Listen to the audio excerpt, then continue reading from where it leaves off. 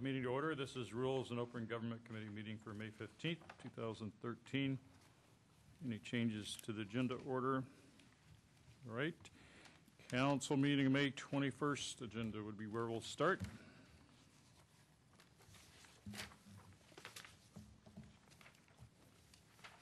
Anything on page one? Page two or three?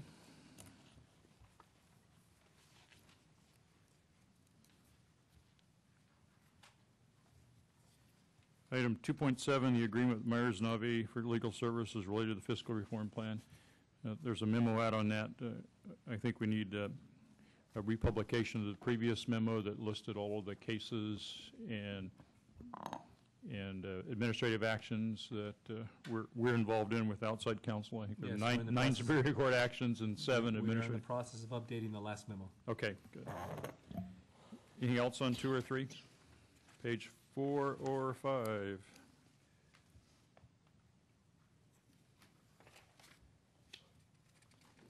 Page six or seven?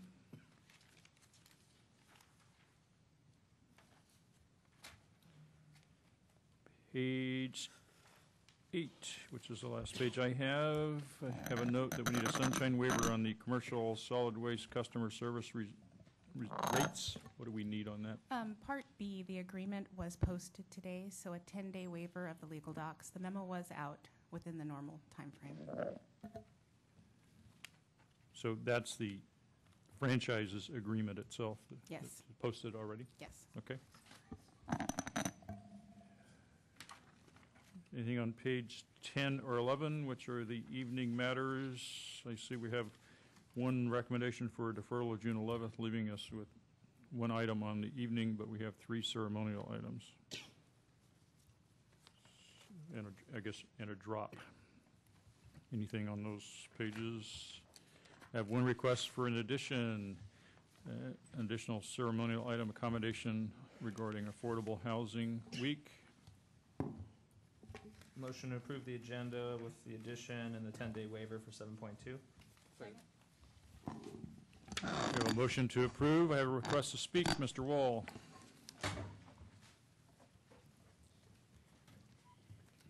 Good afternoon, sir and ma'am.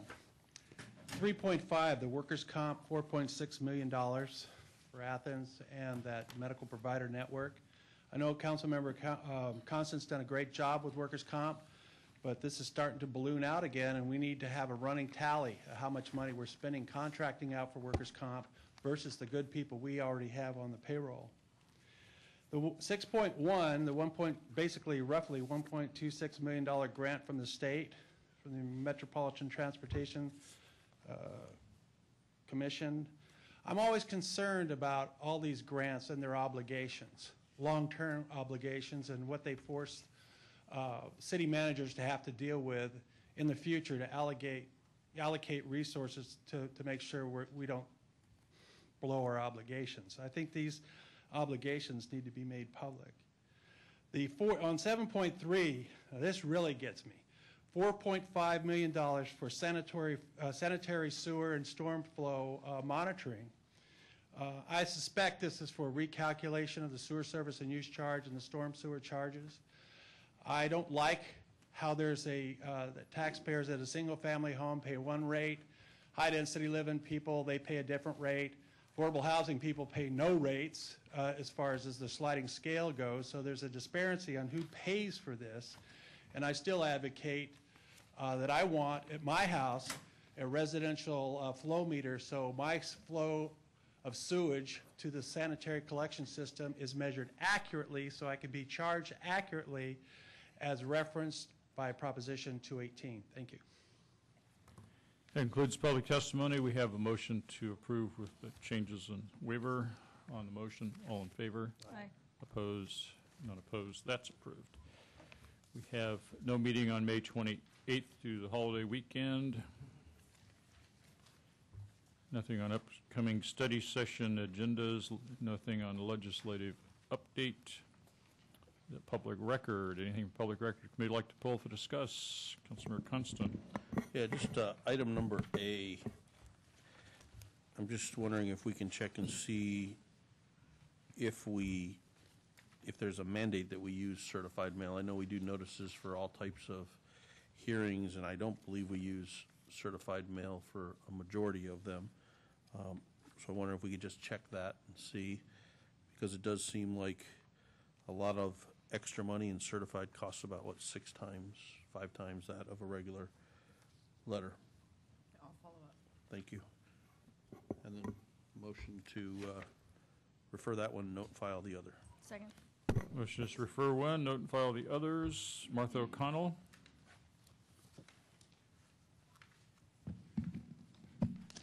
Uh, Thank you, Councilperson Constant, for pulling out that for referral. I don't believe there's mandatory because the attorney for the Bay Area Legal Aid sent out her documents just through the regular mail, so I doubt that uh, it is required. I would like to point out that this program is supposed to be self-funded, and there is an annual fee that the, everyone in the park pays half, and the park owners pay half, and that program has been running in the red for literally years. So this would be a way for not only the, the, um, the city to save money, but to rectify a program that has been running in the red for year after year after year. Um, I know it may seem like a small amount of money, but if we add all this stuff up, uh, hopefully someday we're gonna get to a balanced budget. David Wall?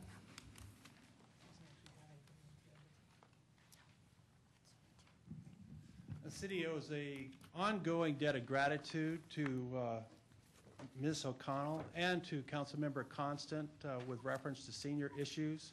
In reference to this, too, uh, the, the city owes an on- ongoing debt of gratitude to Martha O'Connell for her uh, analytical prowess in bringing up this costly oversight that one must try to figure out how come nobody else saw this in the administration with all the resources that are at your command. Uh, Councilmember Constant has to be held out for special accolade for his continuing support for the senior citizen uh, community. With reference to item B, Operating Engineers Local Union Number Three has an interesting complaint here, and I suggest that uh, you look at it because uh, I don't think that they're raising any, uh, you know, unnecessary complaint, and therefore, uh, somebody's not in the city not doing their job to irritate this union. And I think that this is an unnecessary irritation to rise to the level of having to come to the Rules Committee. Thank you. That concludes public testimony.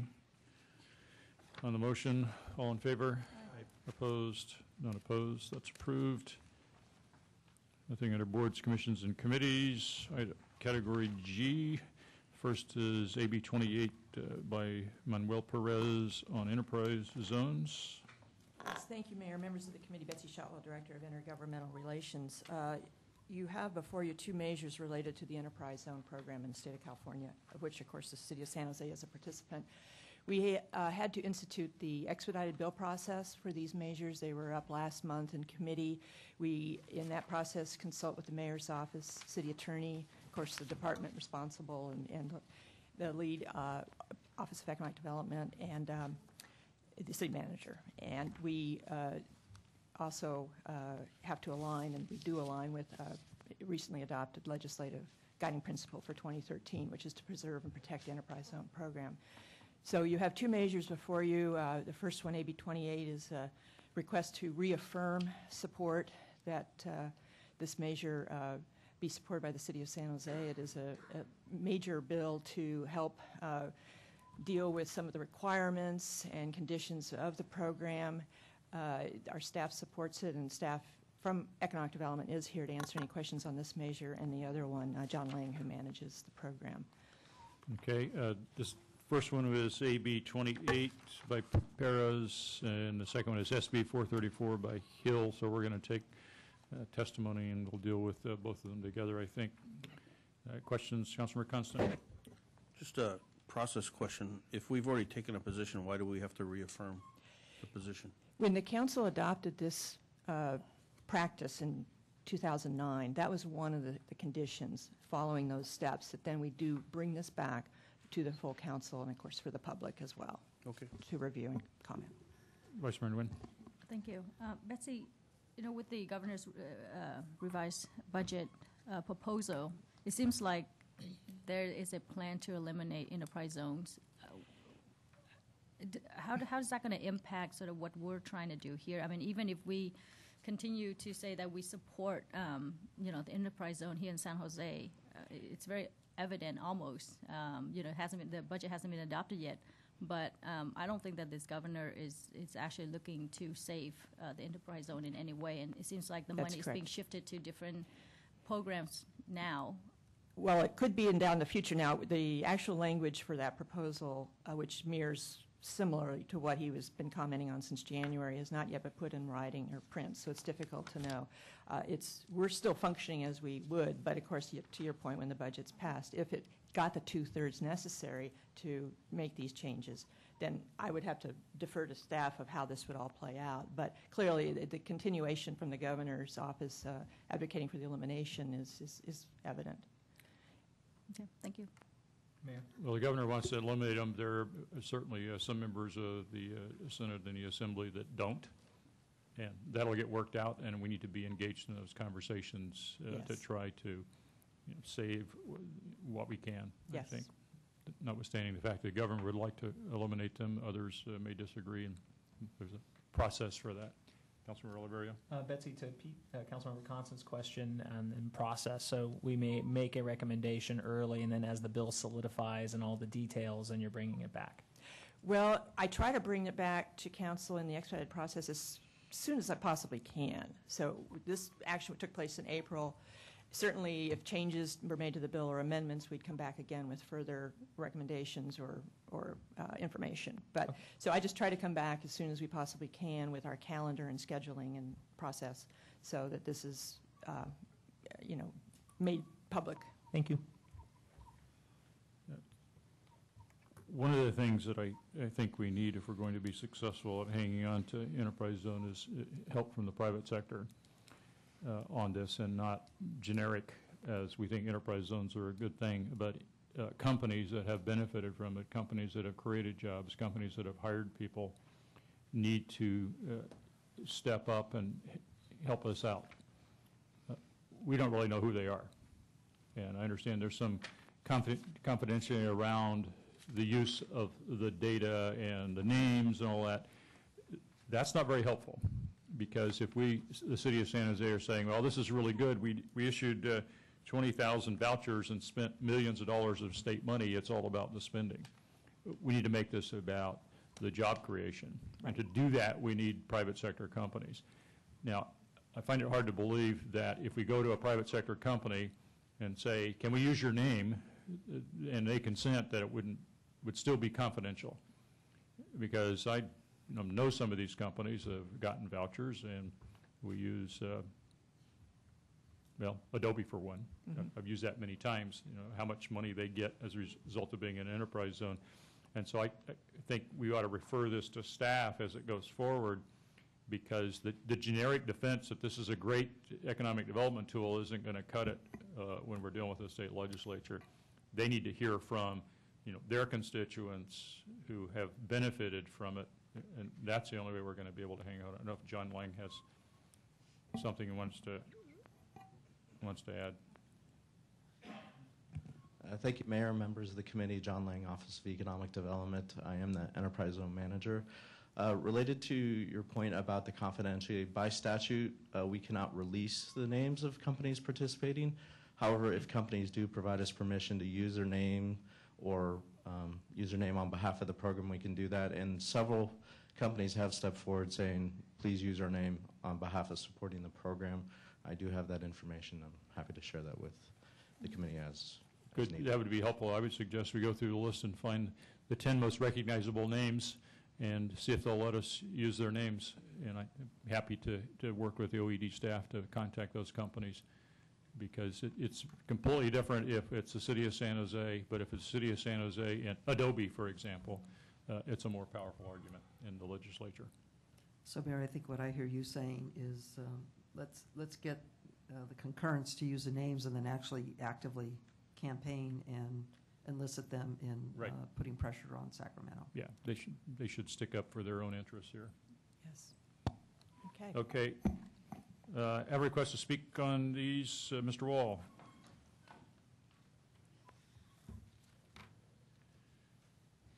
The three items that are basically integrated is the foreign trade zone, the enterprise zone, and getting and obtaining the United States Patent Office here in San Jose. All this work has been going on for some time, and yet the three hasn't really gelled into an operational triad. The state of California is well right within their rights with a, uh, SB 434, part and parcel because the city of San Jose has thrown so much money in these enterprise zones, and yet by our own admonition from our auditor, we have yet to see the quid pro quo. How many jobs per how many thousands of dollars or millions of dollars we've spent. So that is basically the impetus for Senate Bill 434 because it is a giveaway program in their eyes. And we've just started to quantify the amount of money, which should have been done all along from the Office of Economic Development, to sustain or to justify this type of activity. Now, Senate Bill, or Assembly Bill 28 is basically, well, let's reform this, much along the lines of reforming or trying to reform the old redevelopment agencies. Same type of argument.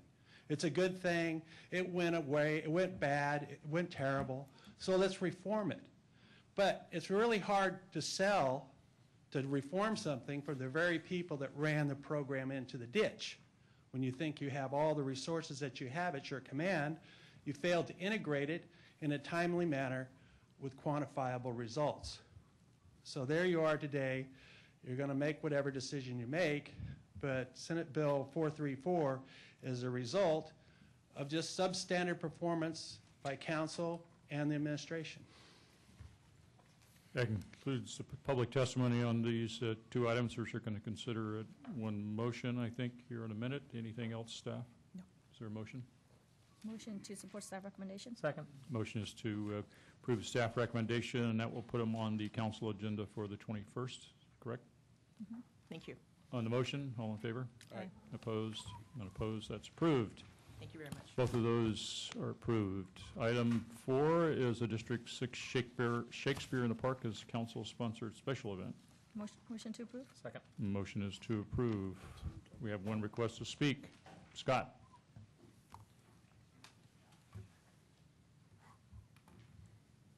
Well, I didn't, ex- Scott Lane here, I didn't expect anyone to vote against this. I just want to say, this is fantastic. Shakespeare has a lot of fans.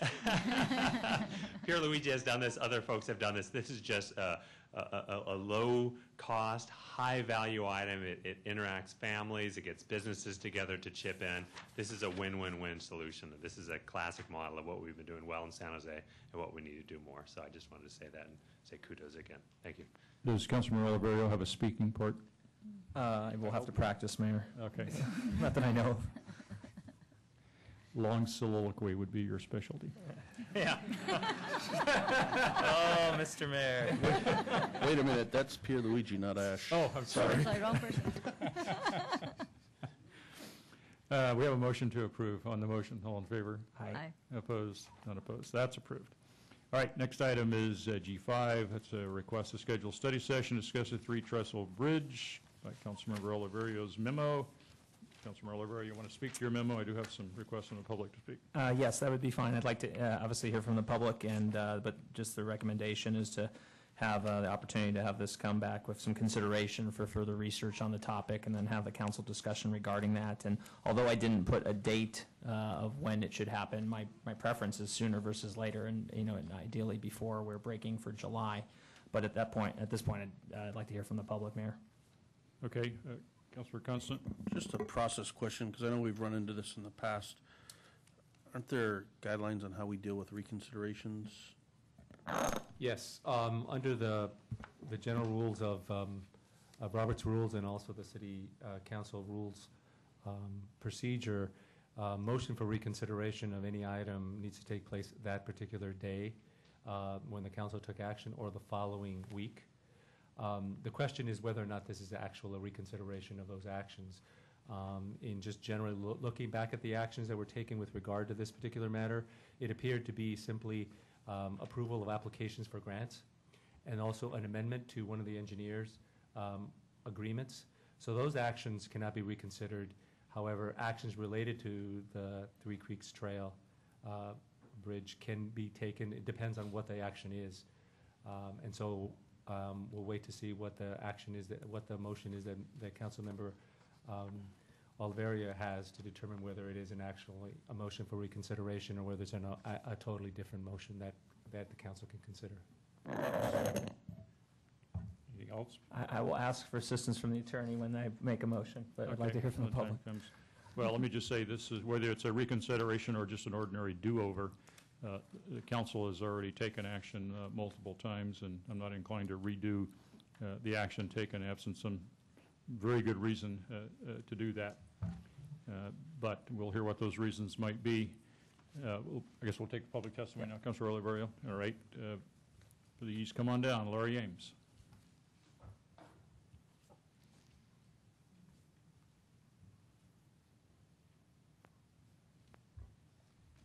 Hi, I'm Larry Ames, a friend of Willow Glen Trestle. I want to thank you, Councilmember Oliverio, for bringing this to the Rules Committee, but I fear that just a study session would be insufficient because you guys, the council is very busy with budgets now, and uh, meanwhile, the Parks, Work, Public Works is signing contracts for the Trestle's demolition.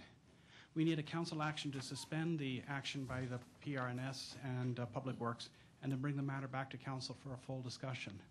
I understand that Parks is rushing forward because the Prop 40 grant may be expiring. I asked Francis at uh, aide to Senator Beall about this, and it's apparently already too late in the legislative cycle to seek an extension. But then she asked me whether the grant could even be repurposed for, from land acquisition to trestle demolition.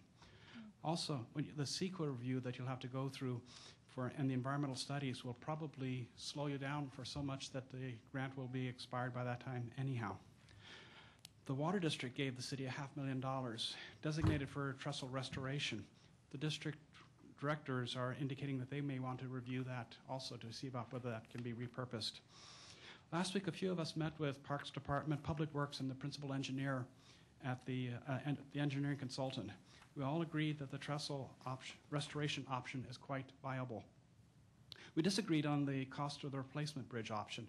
The engineering report, if you look through it, all the numbers in there, they only have $58,800 for the complete removal of the trestle. I've talked to some professionals in, the, in, this, in this business, and they estimate it'll be one to two million dollars. Also, the cost estimate in the estimate there was for a basic model bridge, and we in the community have been promised something fancier.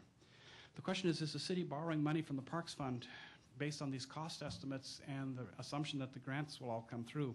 And what will happen if there is a cost overrun or the grants cannot be repurposed? The Santa Clara County Board, county supervisors voted to have county parks help you with the design of this stuff. We've worked with them in the past on other things, and they're very good at uh, adapting. Sorry, your time is up.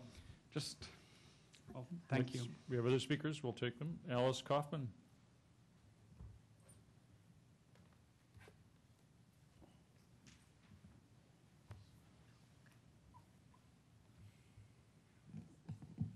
Uh, Good afternoon, Alice Kaufman for Committee for Green Foothills. So uh, Committee for Green Foothills is an environmental organization, and what we're concerned about is the environmental impacts. Uh, Los Gatos Creek is, has a significant um, natural resources and wildlife habitat, and we're concerned about the potential environmental impacts of demolition, which would involve- which would involve heavy machinery and uh, potential damage to the creek, as well as uh, we don't we don't know the potential impact of the creosote timbers if they were to be broken up and wood particles and wood chips were to enter into the creek bed. Creosote is a toxic chemical. So we're concerned about uh, the possibility of the environmental impact. So we would encourage you to take a step back and the environmental impact for making a decision. Thank you. David Wall?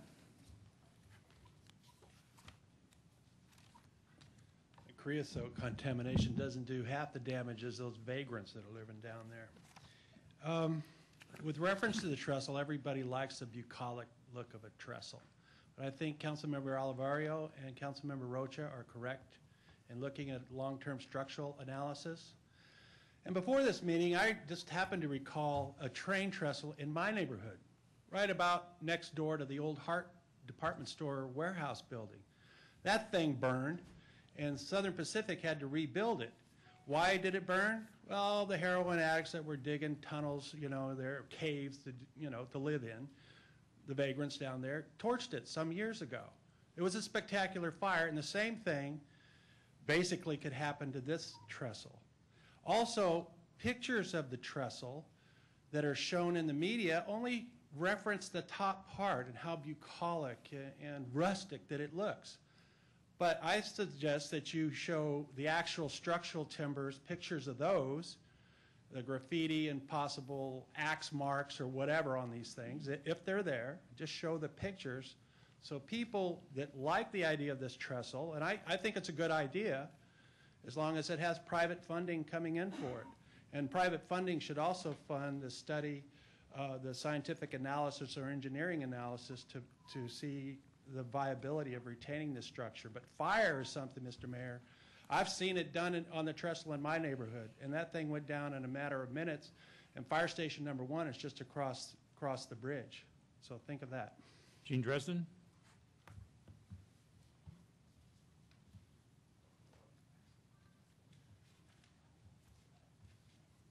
Good afternoon, I'm Jean Dresden, and I do ask that you bring this back to the council to explore more fully. A great deal has been revealed now that the engineering report was posted um, after the uh, council hearing.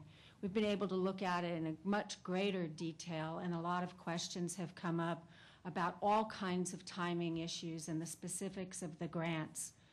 But most importantly, there are now that there's greater awareness, there are opportunities to use this as a way to position Willow Glen, to continue to create a there, to have an inspiring, unique place. There are people coming forward who would like to enter into partnerships about addressing some of the city's concerns and making it very special, concerns related to maintenance and long-term risks. We need to do this in a timely basis, preferably, as uh, Councilmember Rocha has suggested, prior to the July recess. Uh, We need to make our city really great, and one way to do that is not to use cookie-cutter bridges as was proposed by the Parks Department. We need to leverage our special, unique assets. It gives us an opportunity to increase potential economic development when we have somewhere special. Thank you. Jack Nadeau?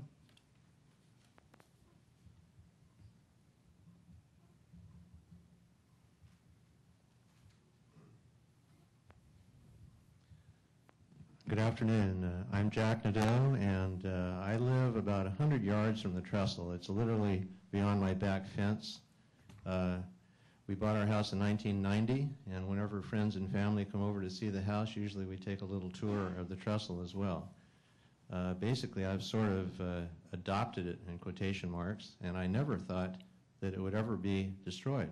I thought it was just part of Willow Glen, and when uh, the study came up that recommended that it be replaced. I couldn't believe it. It came very quickly, and, I was just blown away. Um, that's why I think that the City Council should revisit the issue, just like it's recommended in the uh, Mercury News editorial uh, Friday. Rail Trestle deserves a closer look. Uh, there, there was not enough public uh, feedback uh, before the City Council made its decision, and so I think it should make the decision again after considering, uh, you know, comments from people who are very interested in the history of Willow Glen. As you know, Glenites are, are very proud of our history, and the trestle is a huge part of it. Uh, it transported uh, goods for years that fed us, uh, California, and the world. It's, it's really an historical gem. And I was pleased yesterday at the Board of Supervisors meeting where they voted unanimously to work with the city to preserve this, this gem, as Ken Yeager calls it in his memo. Um, a similar thing, I don't know if I have time, but I'm also a member of the Save Hangar 1 committee. The Navy actually decided, among several alternatives, to demolish Hangar 1. There was a huge public outcry, and it's very similar to this situation here the Navy decided, well, let's look at options again. And as you can tell, it's still standing. It's been recoded, and it'll be actually saved. And I believe that hangar, I believe that the trestle also will be saved. Sorry, your time is up. Scott Lane?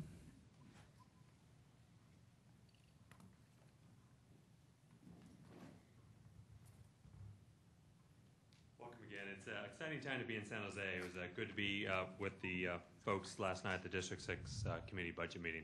Um, See the turnout of, of the people and obviously so much of city staff. Um, Two upcoming master uh, planning meetings are going to happen. Uh, The decision on the bridge was actually before the master planning meeting, I believe. Um, I also am excited about the county staff with the offer to work. I know a lot of the folks at the county actually used to work with the city, so I think it's a quick um, way to do it. I would actually vote um, not in favor of Pierluigi's uh, offer in this case because I think it's a time issue. I, I don't want to get an external vendor.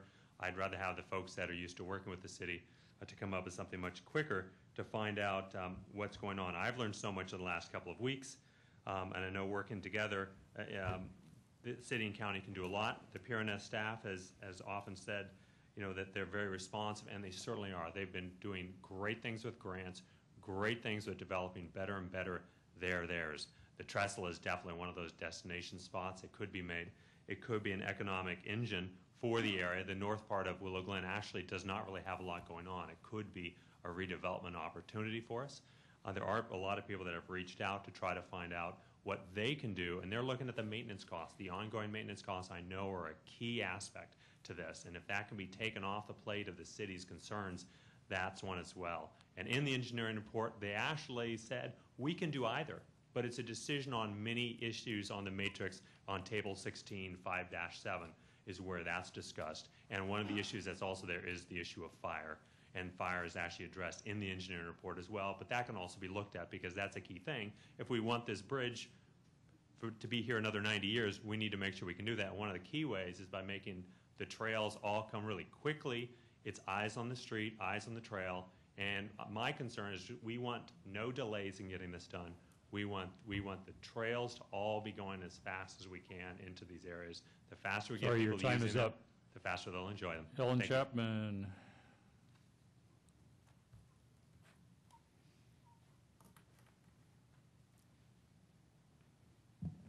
Good afternoon. My name is Helen Chapman, former Parks Commissioner, member of Committee for Green Foothills, and founding member of the San Jose Parks Foundation. I want to thank Councilmember Oliverio for bringing forward the concerns of the community to the Rules Committee today. I'm hopeful this committee will consider bringing back this issue to the full council before July to allow greater community conversation and a full vetting of all the issues. We have an opportunity to save money and involve potential investment dollars in collaboration from a variety of sources. The San Jose Parks Foundation is ready to help. Santa Clara County Parks is ready to help.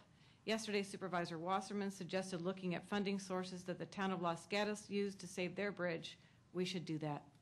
Environmental issues should not be an either-or.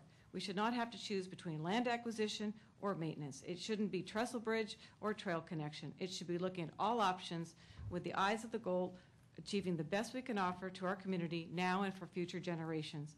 As my mother always told me, if something's worth doing, it's worth doing right. Thank you. Charles Jacobson.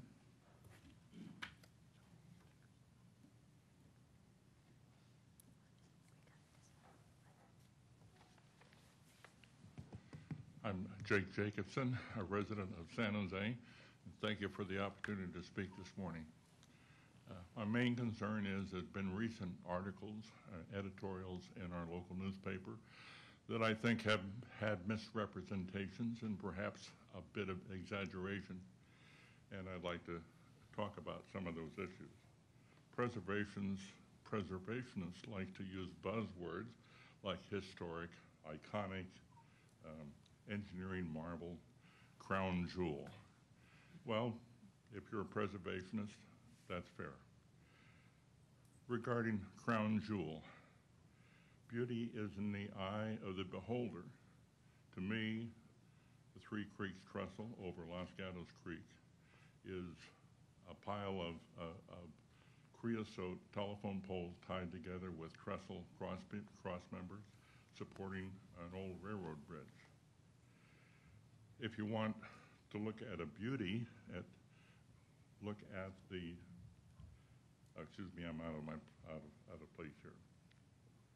The beauty of the Three Creeks Trail is the wide um, right-of-way of 60 feet, the natural landscaping, and the planned landscaping that the city plans to put in place. The Mercury News editorial said that the Three Creeks the- that the trestle was an engineering marvel, when in fact it is a very mundane example of thousands of trestles that have been built in the USA. An engineering marvel example is the arson-destroyed trestle um, that exists in the property of the um, um, Roaring Camp Railway in, uh, in Felton.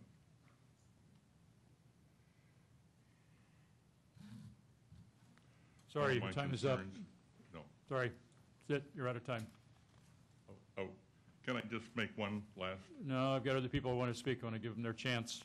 Two, two minutes. Uh, Barbara Keegan.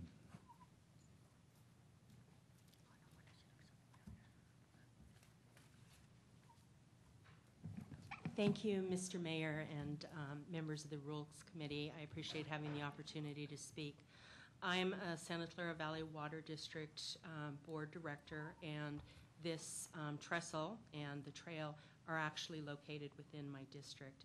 I'm not here today to talk about the merits um, of utilizing the trestle versus um, the other options that are being considered, such as, as um, a more easily maintainable bridge. And I, and I do understand the city's financial constraints and concerns in terms of um, future maintenance obligations. But um, what I would like to express is that the Water District's Trail Grant Program, um, from our uh, uh, perspective, is intended to do something good for the community and bring the community together. And um, I've had a number of communications from the, the people, my constituents, and not just those um, blanket email ones, but people contacting me personally, expressing their concern about the process and, and what's being proposed. So I would strongly encourage you to take another look at this. I know that there's um, great minds with the city staff um, that I think can come up with some viable alternatives that will satisfy the city's concerns and the communities as well. Thank you very much for providing this opportunity. Richard Zappelli.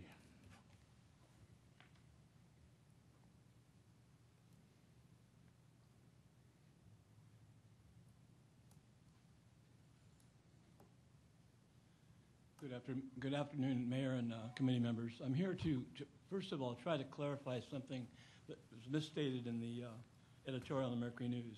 The Mer- Mercury News uh, represented that the Willow Glen Neighborhood Association did not vote and, uh, and endorse the removal of the trestle and replace it with a steel trestle. That is not true.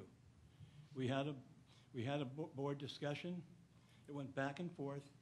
And after a long period, period of discussion, we decided the best use of, of, of the, the funds that were raised to replace the trestle would be to tear the trestle down and replace it with a steel trestle. That was our, and it was unanimous. 100% of our board agreed. Also, our concerns have to do with two attempts, two arson attempts on the trestle. And if that happened like 2 o'clock in the morning when everybody's asleep, it probably would have gone up in smoke. The smoke would be toxic smoke, not good for the people living in the neighborhood. The other thing is if it did happen to a new trestle, a new wood trestle, uh, would the city have the ability to come back and replace that trestle with another wood trestle? And we're also concerned about the grants as well. So uh, I attended the uh, Save Our Trails meeting where, where the Parks Department, Yves Zsutty, made a presentation, and he gave us all three options, and he was very clear and very fair and answered all our questions. Based on that, and photographs we took currently of the trestle condition, we voted to uh, replace the trestle with a steel trestle. We were very clear about that. Thank you. Roland LeBrun.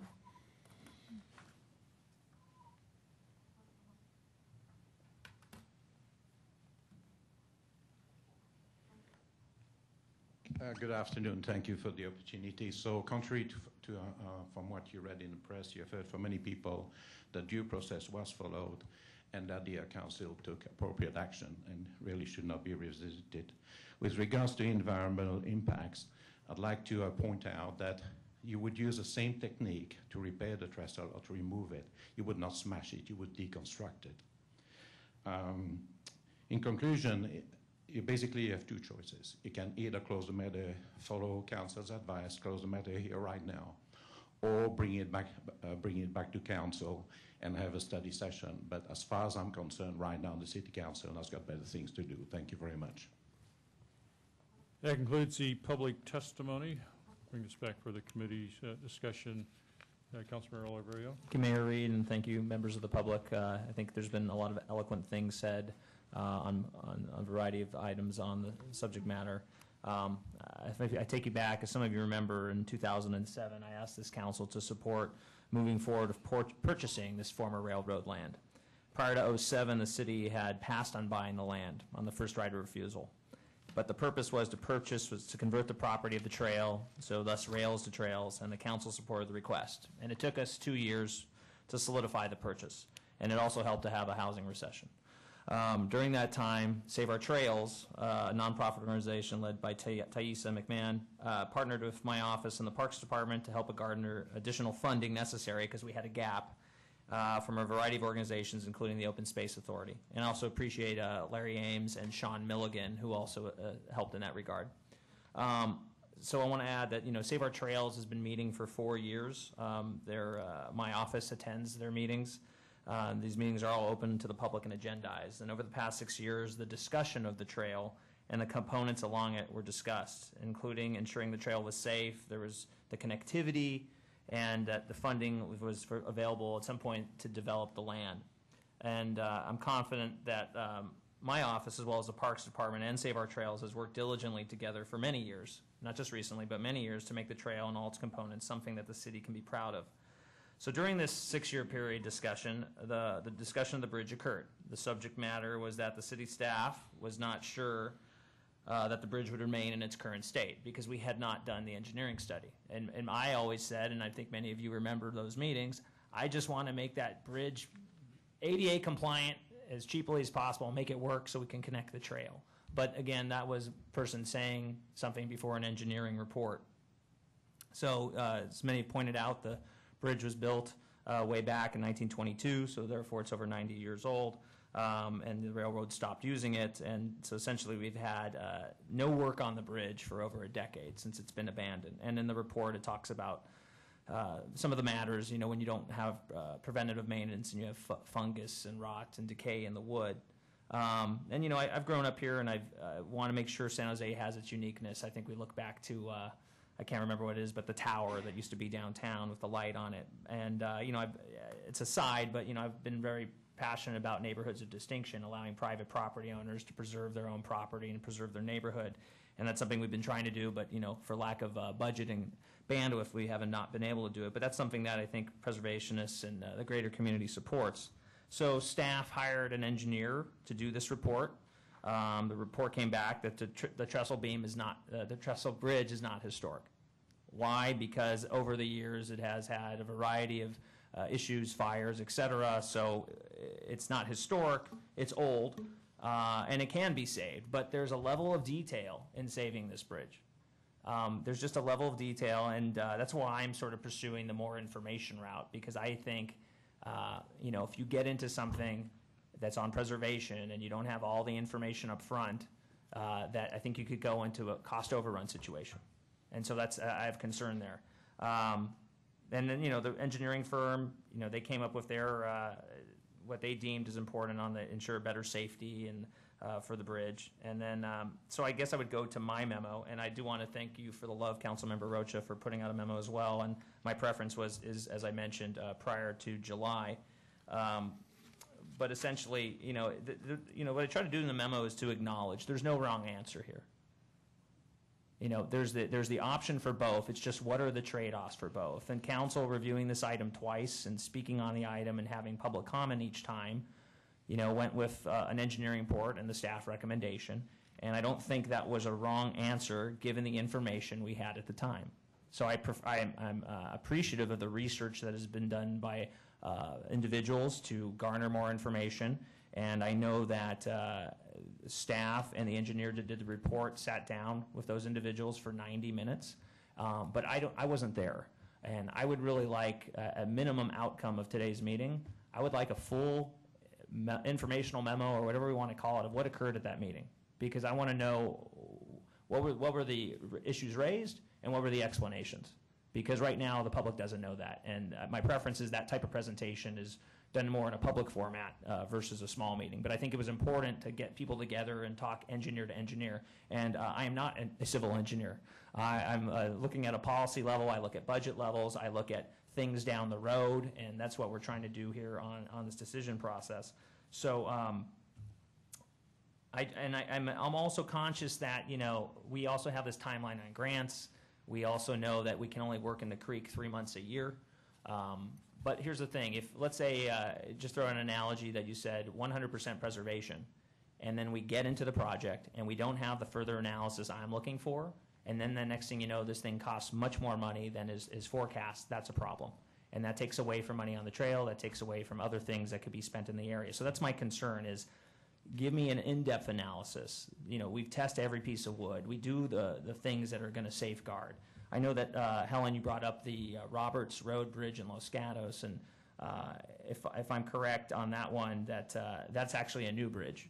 So where the community gave design input to make it look acceptable. And uh, so, and I think that's what park staff had been talking about, is try to incorporate, uh, you know, design from the people. And Jack, you brought up Hangar One, and in that case, I think a, a Google billionaire has come to the rescue. And I certainly think with time, you know, maybe there are funds available from individuals. Maybe the individuals that are interested in the bridge also want to adopt it and take care of the stream, because part of the water district, at least in the report, said, you know, they don't want this structure impeding the flow. And if, and as we've done on the, did the tours of the uh, area, and Larry, thanks again for, for conducting that and attending, you know, there's a lot of stuff there that is, as we're doing the tours, people could pick up.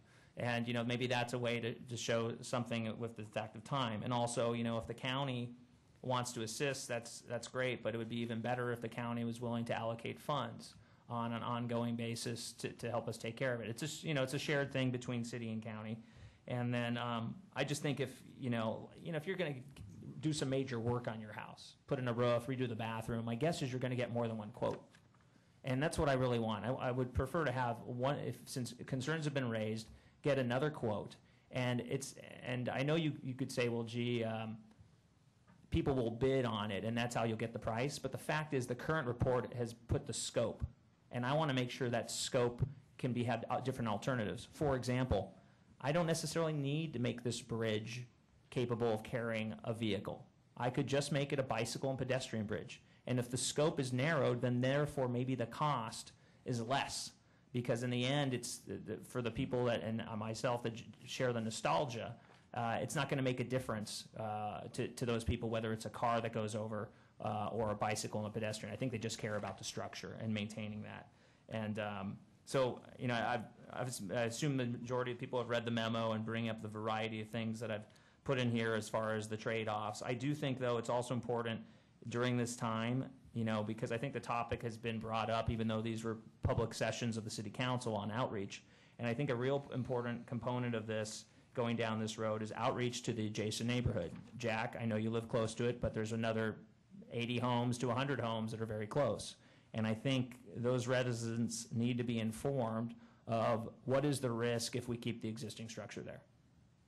Whether we agree with it or not, I think they have a right to know that if it should burn, this is the impact. So I think part of the review also should contain what is the true fire analysis, whether it's done by a study or it's our fire chief.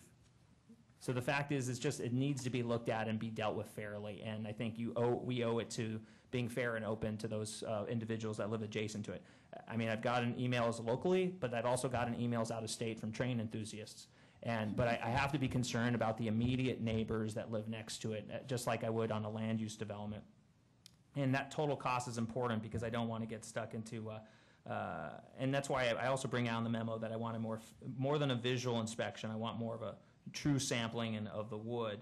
And, um, uh, yeah, so I think it enables the opportunities for- for some private partnerships. And I just wanted to see if uh, staff wanted to answer any of the questions that came up from the public or concerns or comments uh, on the grants, on any of the engineering uh, questions, and, you know, also about the meeting that was held. So I know I see Public Works, I see Parks in the audience.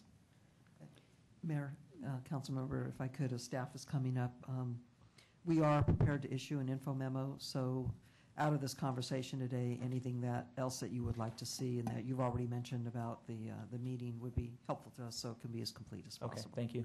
Be- Before the staff gets started, I have another uh, issue, to- just to make sure that we, we talk about it. Uh, One of my uh, biggest disappointments as a council member was uh, learning how difficult it is to do trails. And how difficult, even more, on top of doing trails, is it to do the connecting links across creeks or across other impediments like freeways and things like that.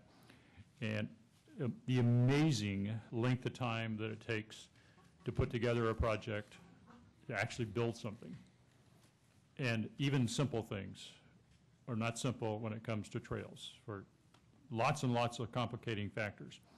And so one of my concerns about a, a do-over is the impact on building a trail. Because this may not be a one-month delay, it could be a five or a 10-year delay. And if that's the case, well, that's, you know, one of the downsides of, of redoing it. And so I want staff to, to at least, uh, if they can, talk about the impact on the project of getting a trail.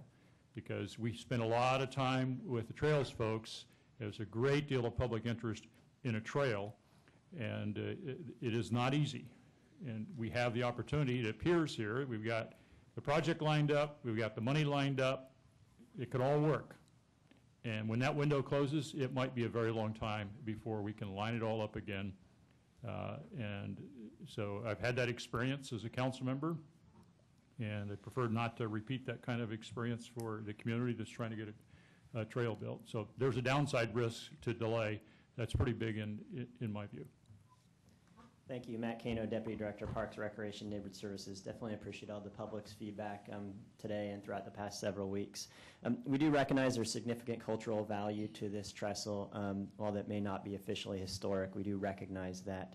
Um, some of the key reasons, really quickly, about why we made our March 26 recommendation to the Mayor and City Council to replace the existing trestle bridge there's a lot of unknowns when you go into the construction of a, uh, the, when you go into the rehabilitation of a structure, whether it's an old trestle bridge or whether it's a building. And even though we do have a construction cost estimate from the engineering report, from a timing standpoint and a cost standpoint, there's a lot of unknowns there. Um, a huge reason was the annual. A huge reason was also the annual maintenance and inspection and possible repair of the timbers. We don't have the general fund money to do that work, and if for some reason that we, it takes us, and we also have to get permits for when, oftentimes when we do that work. And in addition, if there is a significant repair, the bridge could be out of service for several years possibly um, until we find funding to actually replace it. Um, Fire damage was mentioned today. We do have a state grant that currently expires in 2000, spring 2015. That state, and because of the construction window in the creek, we really have to construct this next summer in 2014 in order to meet the timeline of that state grant. I do want to acknowledge there could be a possibility of extending that grant, although this grant has been extended in the past. And in our conversations so far with our, with our, with the staff at the state, they're not um, receptive to an extension. Um, They have, in our conversations with them, they are receptive to the um, proposed project that we have moving forward. The engineering study um, is pretty thick. I'm a civil engineer myself as well, and I read it a few times, and we met, um, the meeting, Councilman Oliverio mentioned Harry Freitas from Public Works and his team and the consultant were at the meeting last week. And we can provide a report of that in our informational memo, so we will do that. Um, A lot of great feedback back and forth um, on that. And after that meeting, um, we still do feel extremely confident about the results of the study, that it was a very thorough study, and it was, it was a tool in helping us make our decision. Um, It wasn't the overriding, we didn't look at the final report on the study and say, oh, this gives us our decision. We took the study into account um, in making our decision. Some of the other items that came up today, um, the Water District grant, uh, $450,000, I think, um, grant. We did confirm with the staff of the Water District that the project we're currently moving forward with, which is a replacement trestle, is eligible to, we can continue moving forward and still receive that grant at this time. Um, Regarding the posting of the engineering study, we're still trying to determine the exact date it was posted, but we do know for certain that it was posted at least by February 6th, which was over a month and a half prior to the council meeting. I have an email from Yves Zsutty to somebody um, stating that on February 6th, so we're certain of that. Um, And, um, yeah, as, as the mayor mentioned, the impact of the schedule, the, there's a, if we go back and revisit the engineering study, and ask, maybe ask Dave if he wants to expand, but if we did go back and vi- revisit the engineering study, um, and have a third party, we, this is something that we probably couldn't turn around before the summer recess. That would definitely have an impact on our schedule. Uh, Thanks, Matt. Uh, Dave Sykes, Director of Public Works. Uh, Just to kind of step back a little bit, um, I want the committee to understand that, that our perspective as a team going into this was really to, uh, to renovate this bridge. Um, From my perspective and my involvement, over time, as we began to understand the condition of that bridge and what it was going to take to renovate it, um, I think our thinking shifted through that process.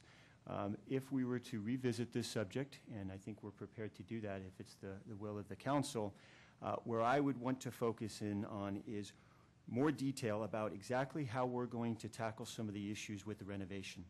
Uh, The analysis done by the engineer uh, identifies a lot of the bracing that needs to come out, repair to columns, and replacement of a significant number of the bolts that hold the bridge together.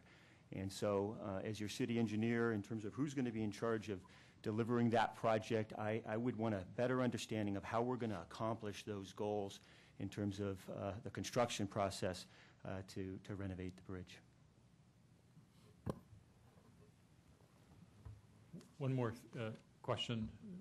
The toxic hazard sitting in our creek and the creek impediment sitting in the creek. I know the Water District has concerns about the flow, and certainly the neighbors have a concern about what happens if it catches on fire. Uh, Yeah, I I think certainly the, the current trestle bridge does present, present a, a blockage uh, for the creek. Um, And certainly with a clear span, uh, that blockage would be removed. Um, I think with proper maintenance, you can address that blockage, but it would mean maintenance uh, to clear, um, and, and that's something that would need to happen on a, a continuous basis. Um, in, in terms of the treated wood, um, the, in either scenario, um, in terms of the removal of the bridge or repair of the bridge, we're going to be down in that creek. And we're going to be having to remove members and take them to a disposal site. Now, obviously, if we're going to remove the entire bridge, there's more material, but nonetheless, even in the renovation scenario, there's considerable material that we're going to have to remove and take to a disposal site. Other questions for, for staff? Councilor Oliverio? Yeah, so city attorney, so then uh, if I made a motion to, um, going on what you said, since we can't reconsider, Looking at, at- your recommendation, um, what it appears to be doing is, well, two things that need to be clarified. You're asking for a study session to consider whether to direct the Public Works and, and Parks Department to select an an alternative engineering firm to do additional work. That is different than what was, the council approved. So if you're asking that the council consider do- ha- getting another engineering for- firm to look over the work that was previously done, that is a different item than when that happened. So it's not uh, prohibited by the motion for reconsideration. Um, But if it's a study session, that was previously stated, you're not, the study session won't allow you to take action. Hmm. It allows you to have input. Um, And it won't affect anything that's already currently happening with, with the two contracts. You'll continue to work as the council previously approved, pending whatever the study session uh, results, and then that, whatever comes out of that study session will have to go to another agenda for the full council to take action. The study session doesn't allow the council to take action. It simply allows the council to get information. so I could just amend the recommendation and say, schedule uh, this to come to council instead of a study wh- session. What I assume you, you want to say, instead of a study session, is for the council to consider selecting an alternative engineering firm to do additional analysis of the existing trestle structure located, specifically asking them to consider that action as Well- opposed to a study Well, session. that- that, that would be, uh, that would be my motion, because I think, uh, you know, there's been issues, concerns raised about the report, that the matrix had mathematical errors, and if, you know, we're gonna go back, again, this comes back to the second opinion. Uh, I would rather have, I'm- I'm sure there's more than one civil engineering firm out there, that, to have someone else take a peek at it and uh, really focused on uh, restoration.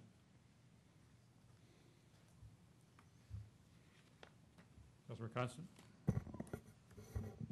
So before I get into some of the points that we're discussing, okay, we take that action, but then an engineering firm gives a study, and then the council is faced with still having to undo actions Well, that no, are well, already done? The, Because what the council will be doing at that point is determining whether to terminate the contracts that were previously approved. You wouldn't be going back and undoing the amendment, you wouldn't be going back and undoing the applications. You would be doing other actions that would impact that.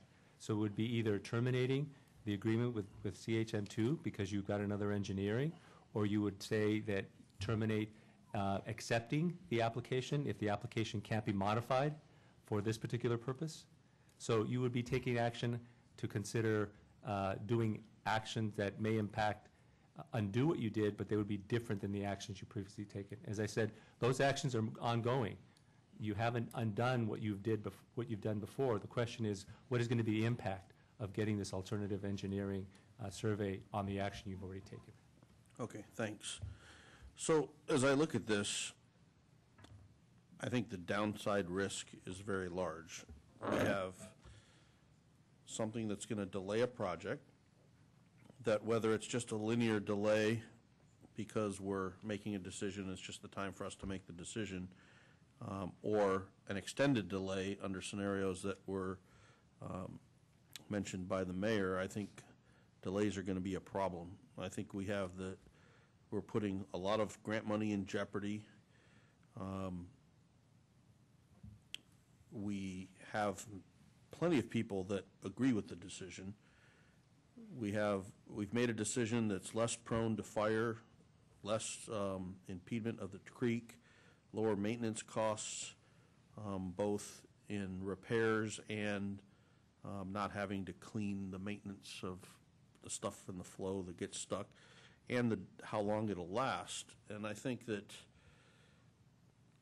if we are to change our mind, I think we're going to end up in a rat hole of spending that's going to have perhaps a never-ending bill. And I know we've seen lots of those um, already. And I could just imagine having a restored bridge and open up a trail, and then running into some of the issues mentioned by staff in closing the bridge, just like we have newly built libraries that are closed, and we have residents staring at fences that they can't uh, pass to use the things uh, that we have built and they have paid for.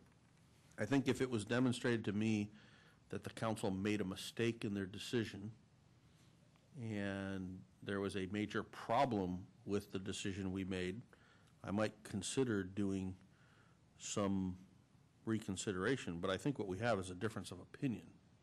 And I can tell you that having thought of all the pluses and minuses, I made a decision that I'm confident in. I think it's a decision that's in the best um, interest of the residents, and it's also in the best interest of the city of San Jose and our budget and how we go forward. So I think we should stay the course and get this trail open, because, as the mayor said, it takes a long time and a lot of work to make these connections and make these trails come to fruition, and uh, it may be a couple of generations of councils before it gets completed if we change course.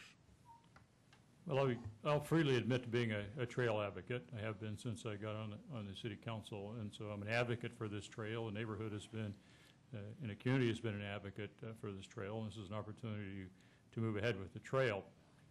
But on the issue of the do-over, uh, we had these issues in front of the city council. We had a hearing. Uh, We had the reports. The council made a decision.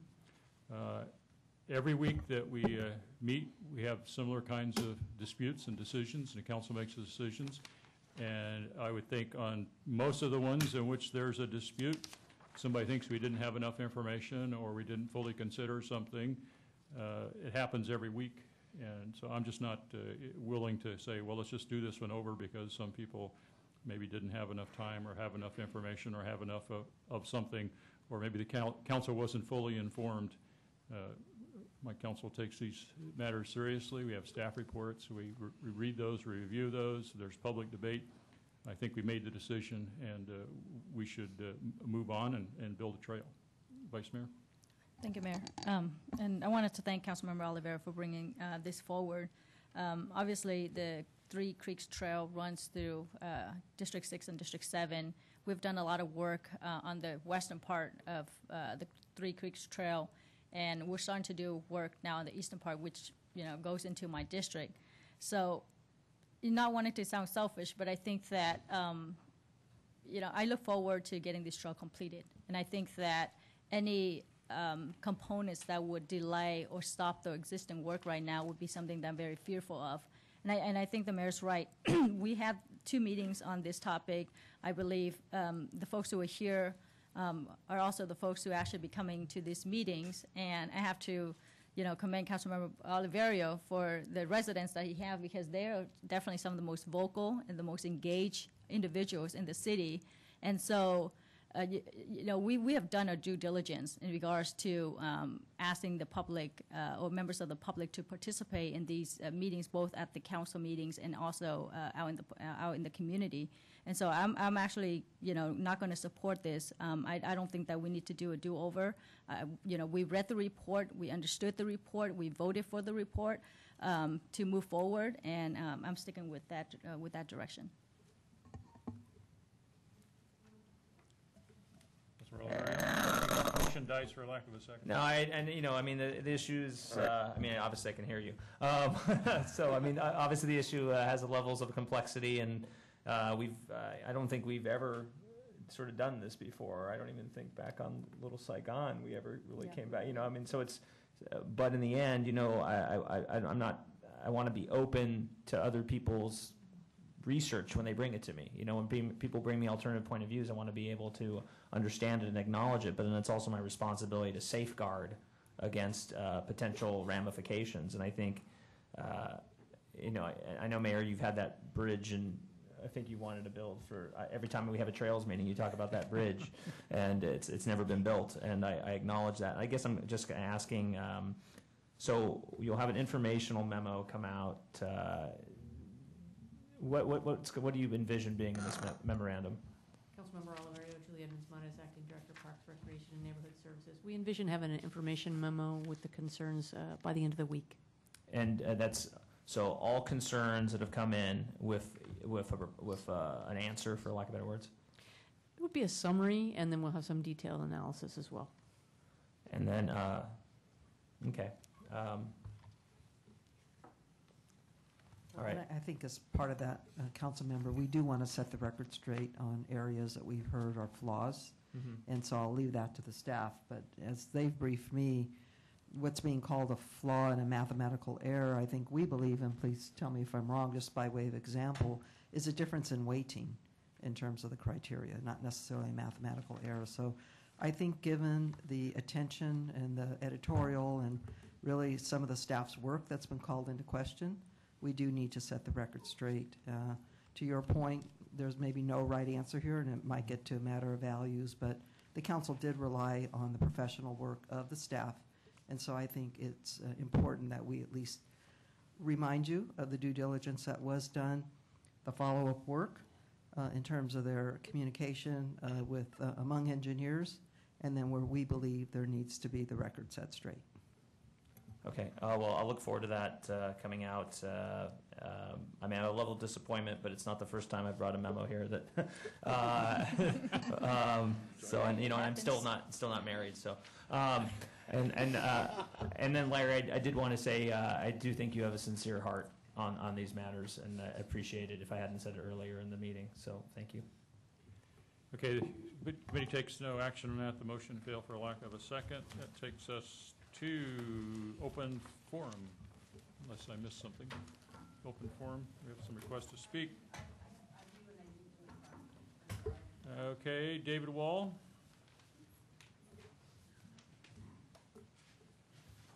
First, there's two thanks of gratitude to the city manager. First, for knocking down the weeds in between uh, West Hedding and West Taylor Street. That property was a number of acres. It was a fire hazard, and the city manager uh, took action, and it is now not a fire hazard at all.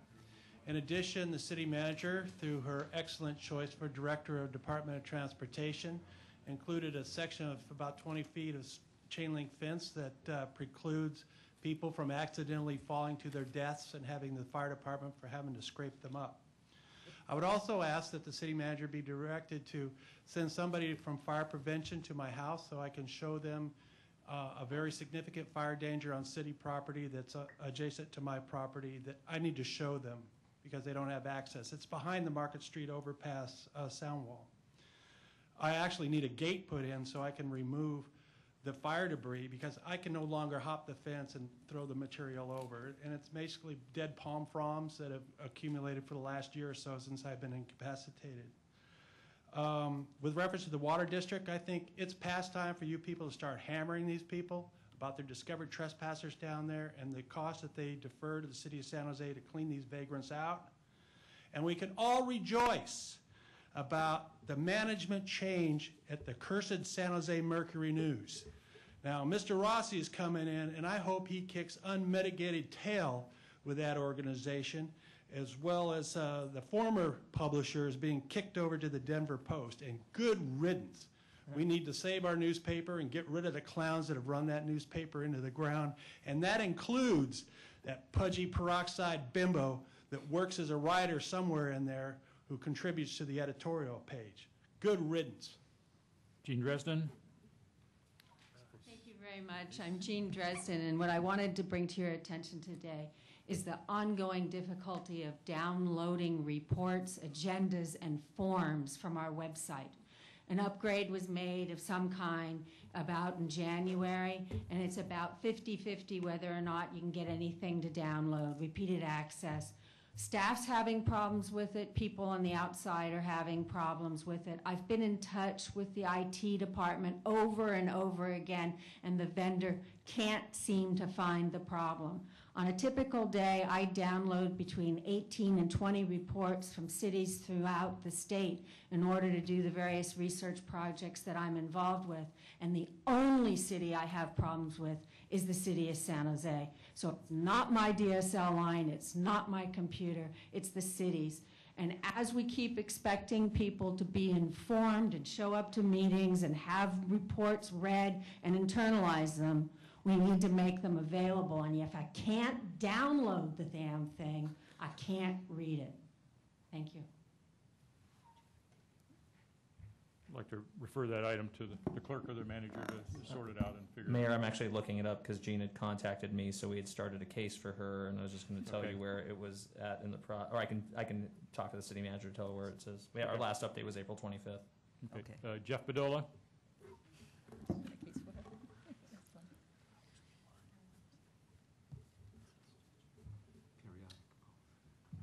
Hello. Here's to doing the best we can. That's why we're here. A season for ethical pause to make sure of the way forward. Remarks based on what I just heard. Was the outreach flawed? Business as usual?